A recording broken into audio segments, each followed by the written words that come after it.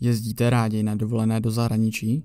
Pláže zalité sluncem, teplo, pohoda u moře nebo procházky po historicky významných zákoutích měst.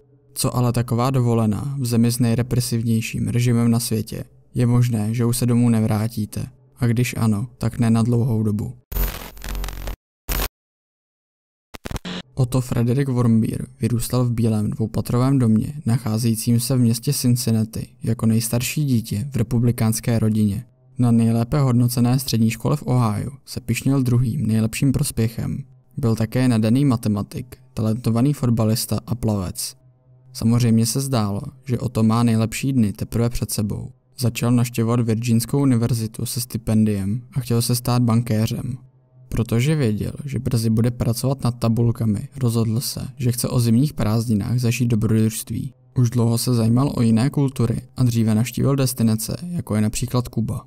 A protože už měl odcestovat na zahraniční studijní pobyt do Hongkongu, rozhodl se, že se chce stát svědkem nejrepresivnějšího státu na světě, Severní Korea. Přestože tento stát vězní a někdy i popravuje občany, kteří se z něj snaží uprchnout, umožňuje každoročně návštěvu tisíců cizinců na přísně kontrolovaných zájezdech, což je jeden z mála způsobů, jak si jeho sankcemi ochromená ekonomika vydělá peníze. Americké ministerstvo zahraničních věcí mělo v platnosti doporučení necestovat do Severní Koreje, kde by mu americká vláda nemohla přímo pomoci. Otovi rodiče nebyli z cesty nadšení, ale jak později vysvětlila jeho matka, proč byste takovému dítěti řekli ne? A tak se o to krátce po Vánocích 2015 setkal v Číně s ostatními a nastoupil do starého sovětského letadla do Pyongyangu. V hlavním městě Severní Koreje pohraniční policie zabavovala fotoaparáty a procházela jednotlivé složky na chytrých telefonech, aby se ujistila, že žádný cizinec nepřeváží podvratné materiály. Následně o to prošel pasovou kontrolou a tím tak opustil svobodný svět. Na začátku pobytu v Pyongyangu se Otto a ostatní nalodili na palubu americké špionážní lodi USS Pueblo, kterou severokorejci v roce 1968 zabavili. Na Silvestra šli popít do Noble baru, ale nějak hluboce se neopil. Po skončení oslavovali poslední hodiny silvestrovské noci s tisíci severokorejci na hlavním náměstí v Pyongyangu. Poté se skupina vrátila do svého hotelu, kterému se kvůli jeho ostrovní poloze říká Alcatraz zábavy. Aby se cizinci dobře bavili, je 47-patrová věž vybavena pěti restauracemi, z nich se jedna otáčí, barem, saunou, masážním salónem a vlastní bowlingovou dráhou. 2. ledna 2016 byl však Otto zatčen na mezinárodním letišti v Pyongyangu, když čekal na odlet ze země. Danny Gretton, britský člen Wormbierovy turistické skupiny, byl svědkem zatčení. Řekl, Wormbier byl zatčen na letišti v Pyongyangu, nebyla pronesena žádná slova. Dva strážní jen přišli, jednoduše Otovi poklepali na rameno a odvedli ho pryč. Jen jsem řekl tak nějak dost nervózně, tak to je naposledy, co tě vidíme. V těch slovech byla samozřejmě velká ironie. To bylo všechno. Bylo to naposledy, co jsem o tu fyzicky viděl. Ani se nebránil, nevypadal vyděšeně, tak nějak se napůl osmíval.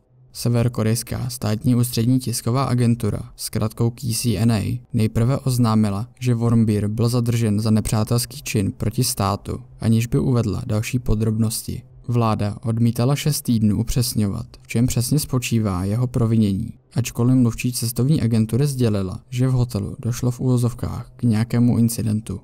Severokorejská vláda později zveřejnila zrnité záběry z průmyslových kamer, na nichž je zachycena neidentifikovatelná postava, která odstraňuje zarámovaný propagandistický plakát ze zdí v zakázané části hotelu. Na plakátu stálo v korejštině. Vyzbrojme se silně Kim Jong-ilovým vlastenectvím. Poškozování nebo krádež takových předmětů se jménem nebo podobiznou severokorejského vůdce považuje severokorejská vláda za závažný trestný čin. Vláda tvrdila, že ona osoba na záběru je o to, Během vysílaného přiznání o četl zručně psaného scénáře, že si obul nejtižší boty, ty nejlepší pro plížení a pokusil se o krádež, aby poškodil pracovní morálku a motivaci korejského lidu a přinesl domů takzvanou trofej. Wormbírovo přiznání také uvádí, že se na krádež plakátu chystal na příkaz metodistické církve v rodném městě a také jednal na příkaz tzv. společnosti Z, neboli tajného spolku na Virginské univerzitě, do kterého chtěl vstoupit a který je podle jeho slov spojencem ústřední spravodajské služby, respektive CIA. Mnoho detailů v přiznání však nesouhlasilo. Například Otto byl žid a nemohl být spojený s jakoukoliv metodistickou církví, takže odborníci měli podezření, že Otto vše četl z předpřipraveného scénáře pod nátlakem. Ať už se během těch pár záhodných hodin stalo cokoliv, když se Greten 1. ledna kolem půl páté ráno vrátil do pokoje, Otto už ve své posteli podřimoval. 16. března 2016, několik hodin poté, co se americký vyslanec Bill Richardson setkal v New Yorku se dvěma severokorejskými diplomaty z úřadu OSN, aby se zasadil o Wormbírovo propuštění, byl Otto souzen a odsouzen severokorejským nejvyšším soudem. Byl obviněn z podvratné činnosti podle článku 60 severokorejského trestního zákonníku. Soud rozhodl, že se dopustil trestného činu v souladu s nepřátelskou politikou vlády USA vůči Severní Koreji ve snaze narušit jednotu jejího lidu poté, co do ní vstoupil jako turista. Důkazy při soudním procesu, který trval jednu hodinu, zahrnovaly jeho přiznání, kamerové záznamy, otisky prstů a svědecké výpovědi. Wormbier ve svém přiznání uvedl, že se plakátu vzdal poté, co zjistil, že je příliš velký na to, aby ho mohl odnést. Hotovo přiznání znělo následovně. On the early morning of January 1st, 2016, I committed my crime of taking out the important political slogan from the staff-only area of the Angakto International Hotel, aimed at harming the work ethic and the motivation of the Korean people.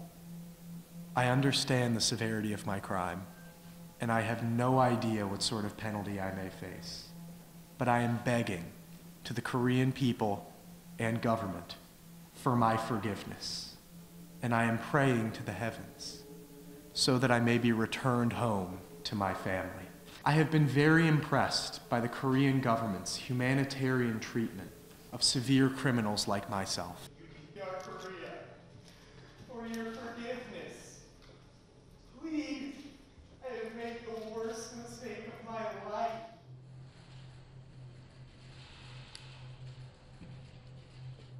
Wormbier byl odsouzen k 15 letům nucených prací, což zřejmě mělo sloužit nejen jako exemplární trest pro mladého studenta, ale také jako varování pro celou americkou společnost. Jednoho vlhkého rána v červnu roku 2017 čekali Fred a Cindy Wormbierovi na předměstí Cincinnati v. Se svým synem Otou nemluvili rok a půl od doby, kdy byl zatčen. Jejich poslední pohled na něj bylo z televizní tiskové konference v Pyongyangu, během které se jejich syn přiznal k danému zločinu. Toho červnového rána však Wormbírovi očekávali zprávu o tajné misi ministerstva zahraničí, která měla Otu osvobodit. Přesto Cindy věděla, že její syn ještě není v bezpečí. Před záchranou jí senátor Rob Portman informoval, že Oto byl podle severokorejců v bezvědomí už několik měsíců, ačkoliv nikdo neznal přesný rozsah zranění. Můžete mi říct, v jakém stavu je Otův mozek? Zeptala se. Portman jí sdělil, že by to mohlo znamenat, že Oto spí nebo je v lékařsky navozeném koumatu.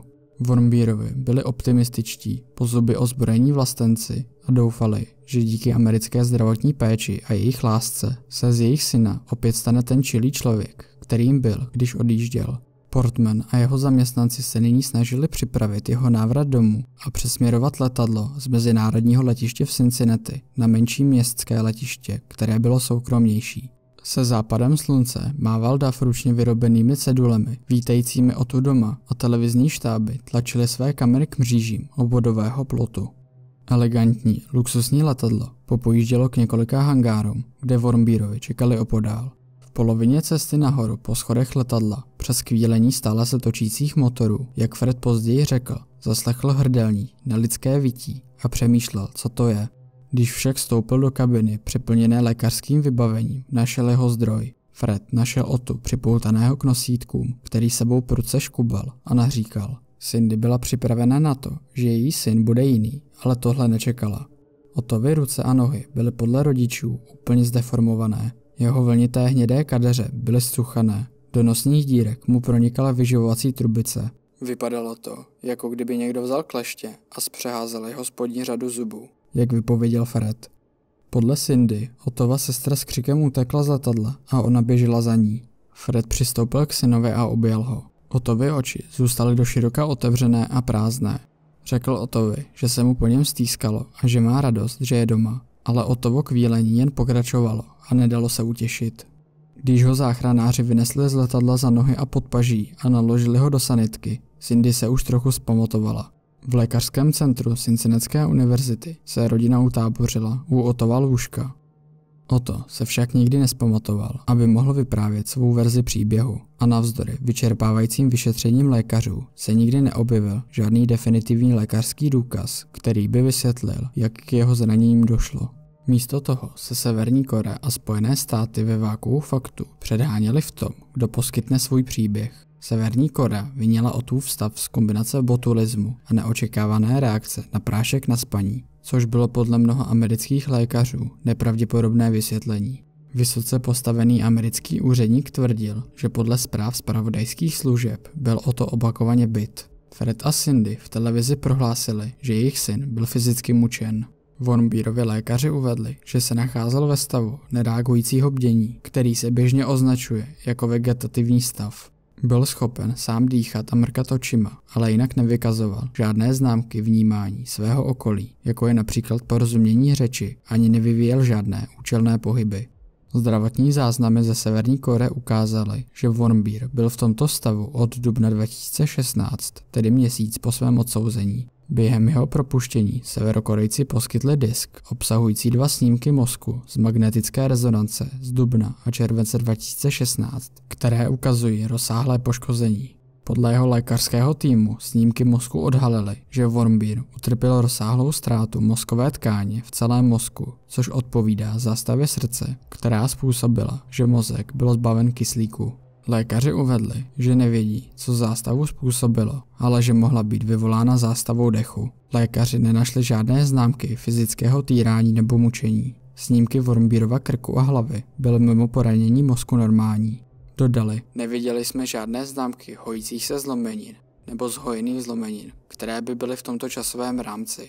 Věříme, že na někoho, kdo byl více než rok upoután na lůžko, bylo jeho tělo v jinak výborném stavu. Poté, co jeho rodiče požádali o výjimutí vyživovací trubice, Otto Wormbier zemřel 19. června 2017 ve 14 hodin a 20 minut ve věku 22 let. Jeho rodina vydala prohlášení, v němž vyjádřila svůj smutek a poděkoval personálu nemocnice za jeho jednání.